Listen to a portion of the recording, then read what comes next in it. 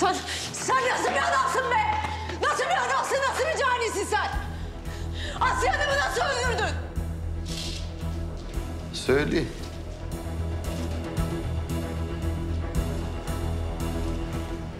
Şöyle çıkışa doğru gidiyordum ben.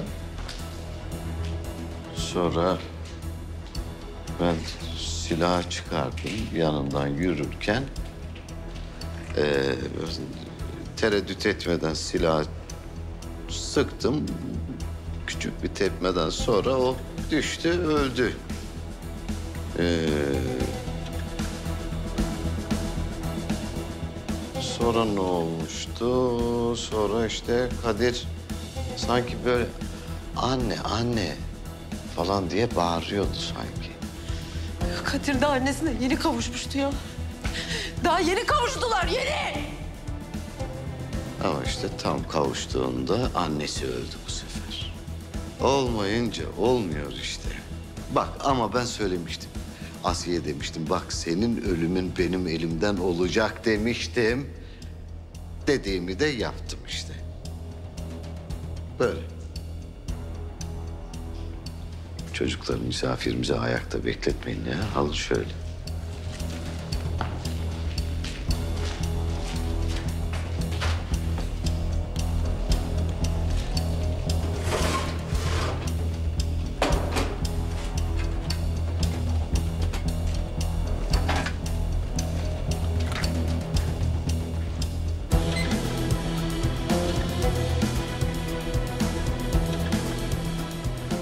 ...24 saatim var.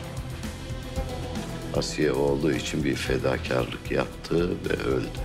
Şimdi seni sevenlerin fedakarlık yapma vakti geldi. Veli ile Kadir ikisi de benden nefret ediyor ama ikisi de seni çok seviyor. Acaba sen ölürsen hangisi yaşar? Gel hangisi seni daha çok seviyormuş öğrenelim. Son 24 saat. Son olarak yemek istediğin bir şey var mı? Senden de yapacaklarından da korkmuyorum. Ben sana korkuyor musun, korkmuyor musun diye sormuyorum ki. Son bir isteğin var mı diye soruyorum.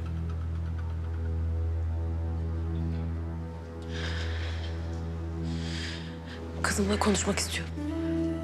Ne diyeceksin kızım? Onu çok sevdiğini, çok özlediğini mi? E, ne işine yarayacak bunlar? Gidişini daha çok zorlaştıracak. Gerek yok. Bak mesela ben hayatım boyunca kimseye seni seviyorum falan demedim. Niye yalan söyleyeyim? Çünkü sevmiyorum.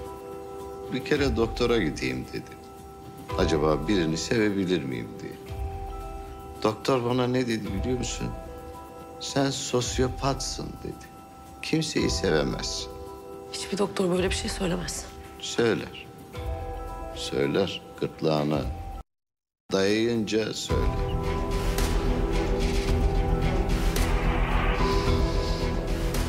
Herkes her şeye alışıyor kızım. Oğlum da annesinin ölümüne alışacak.